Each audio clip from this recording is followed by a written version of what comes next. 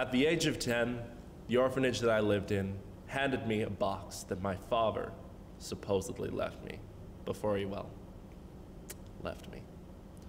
It contained a stick of gum and a journal that said, It is every American's right to live the way they want to. Some kind of sick joke, isn't it? The only thing my dad left me was a stick of gum and a quote. My name is Robert. I'm 29 years old, and I rent my apartment for a living. I'm not a Norman Bates type guy, I'm just a guy trying to make it. So the year is 1993. It's 60 degrees in San Francisco, and it's raining outside. It's been a peculiar day. In fact, it's been a peculiar week. There's been no customers, leaving me a little lonely. The TV's busted, and I've just been reading, reading and thinking, thinking about the past, never the future. One thought in particular keeps me off my books, though, and that's my last memory of my parents. It was five years ago. The year was 1988, and I had only just started renting my apartment. I never really had many friends. No friends long enough to be considered friends. They all had other people to go to. They had friends, plans, and lives. I had my cactus. I loved that cactus. It relied on me, and I relied on it. Although I was never totally alone, I met heaps of interesting people travelers, men of the government, women of leisure, people who were busy, always going somewhere. I was sad when they left, but not too sad, because there was always someone in my apartment. I loved cleaning. It was a respite from the crazy goings on in the apartment. It allowed me to collect my thoughts, thoughts that beckoned me to do more with my life. But I was content. The only discontent I endured, however, was cleaning the bed after a couple had left. I was often told I am a great chef, although I had never taken a class in my entire life. Supper was my favorite meal to prepare. I remember all the couples. I'd cook something romantic, something from France, for the lone gentleman, steak and beer, for the wandering hearts, a hearty soup. So when I came back from the army, right, got I had fucking five months worth of paid wages, right? The first thing I did when I got off that train, I went straight to the fucking tailor and I got fitted in a nice suit. Like Oh. the first suit that I ever had. Oof. A shirt like that. And they brought the sleeves like right up just there. Because you can't have it too low, otherwise you look like a fucking mummy's boy. You can't have it too high, otherwise you look like a nerd. You gotta have it nice and fitted. The shoulder pads, broad square shoulders, the tight waist, so you show the V, like that's masculine. That's what a suit really should look like. Man, I looked like a fucking pimp when I was walking down Broadway. Like you should have seen this shit. Like, incredible. Are you a fashionista yourself? I do dabble in the, the fashion. Oh, you dabble. I dabble. what do you like wearing? I like tweed suits, actually. Well, with the fucking uh, the elbow patches and shit. Yeah, I like the professor look. I'm professor. Look Are you an intellectual type? I just, I just flew in from Germany. Uh, I was in attendance of Oktoberfest over there, and I you, got a little bit rowdy. there was just so much beer flowing all over the place. Oh. I loved it. Loved it. You're really gonna really gonna get out there and see the world. Do you do much travel yourself? No, I just kind of stay around here. a Yeah, lot. you gotta get out there, man. It's just so many beautiful things to see, and you really learn about yourself when you're out there. You know? When you find the right woman, she makes you feel real special. She makes you feel like ten men, like a fucking bull. Like you feel like you could take on the whole fucking world. She's got a boyfriend though. So I don't know where that leaves us. What are you gonna do?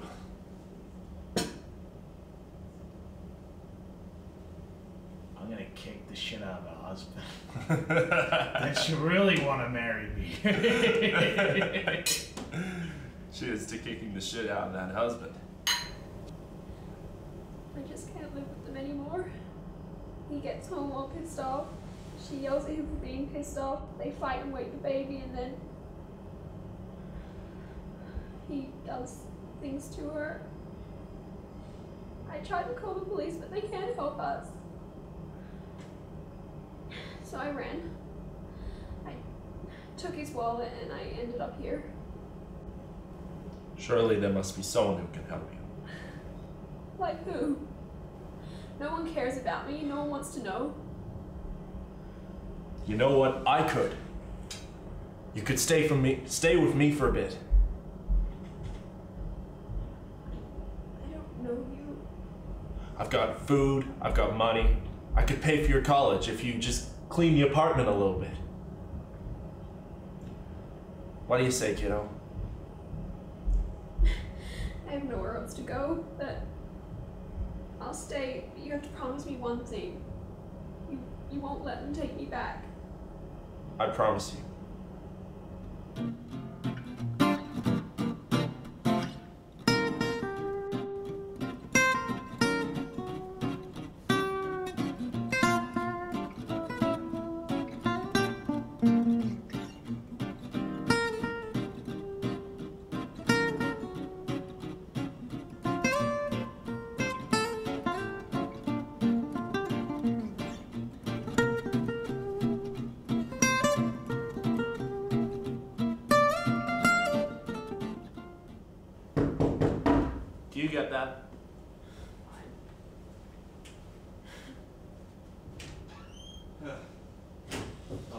Found you.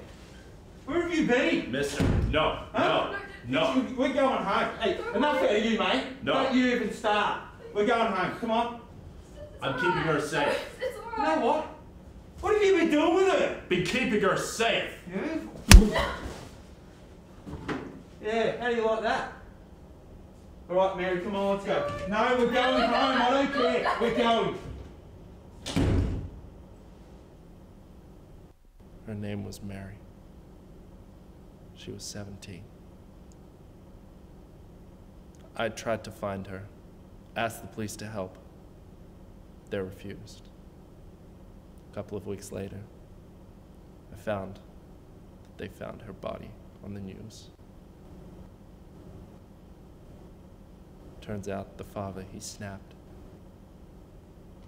Drove them all out to a park, shot them all.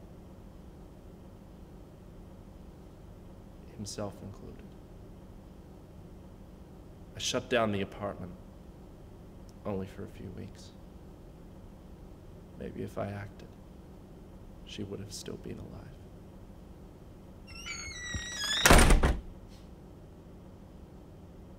My temporary retirement was interrupted by an elderly couple at my door. Doesn't it get lonely here on your own, son? You know, I've never really thought about it. I mean, there's always people around this table, so I'm never really alone. It's just that, you know, this, this just isn't a permanent way to live. It's, it's as if you're moving around all the time. You're never going anywhere. You understand me? Jack, leave the boy alone. Every American has a right to live the way that he wants to. Oh, you're right. Look, I'm sorry, Robert. I didn't mean to make you feel uncomfortable or anything. It's just that I'm curious about you. I mean, you know, men your age should have a nice girl, you know, a more steady job. And hell, you know, if you want to rent places out, just go buy a motel, you know, expand your efforts. You know, I've always thought about expanding, but never really got around to it. You see, making dinner for peop- other people, it's kind of an old people's job, isn't it? Yeah, yeah. You know what? Why don't we have a treat? Let's have some brandy. It's on the house. So as the night went on, the apartment started to feel normal again.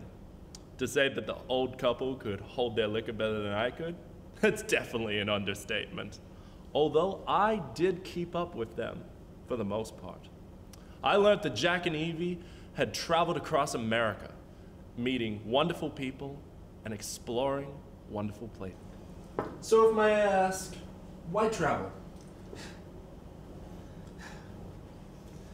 Well, Robert, we were both settled down here once in San Francisco. But then one day, Evie just got fed up with the life we were leading, and you know, I had a crap job, and Evie couldn't really work due to personal issues, so we just both decided that we'd just sell the house and the car, and we just left. You know, best thing we ever did. So, Rob, you were native to San Francisco? Born and raised, although there's nothing really special about it. You see, I was raised in an orphanage. Oh, see. Uh, may I inquire what happened with your parents? I'm not really sure, sir. They just left without any contact. Not sure if they couldn't handle me or they just didn't care. You know, I've never really shown anyone this. This is a scrap of the journal that my parents left me, well, when they left me.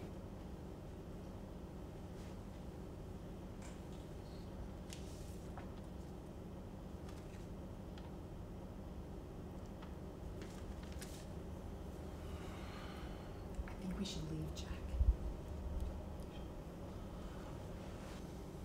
You said Evie had personal problems. Were any of those baby related? That's really none of your business. Oh, I think it is. You see, I saw her uneasy when you were talking about her in the past. Well, this just proves it, doesn't it? Well, answer me! Okay! It's true, Robert. When you were born, I just couldn't shake the sadness. The doctor said that it would pass, but it just wouldn't. Every time I looked at you, I felt cold. You had crushed all my dreams, and now I was meant to devote my life to you? I just wasn't ready to do that, okay? Could you? Please, please, we can start again. We can be a family again. Don't leave me alone. Don't leave me. I'm sorry. I, I just can't. I can't look at you without feeling all the guilt.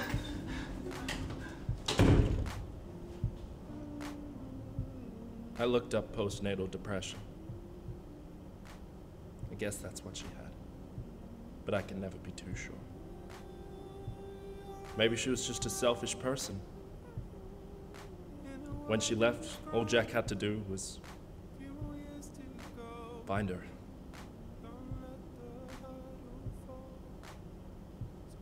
As painful as it was, as hard as it was, I like to savor the moments I got to spend with them. Don't get me wrong, there are some selfish people. And I do despise them, and have despised them for a while. But it's kind of funny, isn't it? Like all some kind of sick joke. Suddenly I'm hit. It's this darkness of the dawn, and your friends are gone, and your friends won't come. So show me where you fit. So show me where you fit.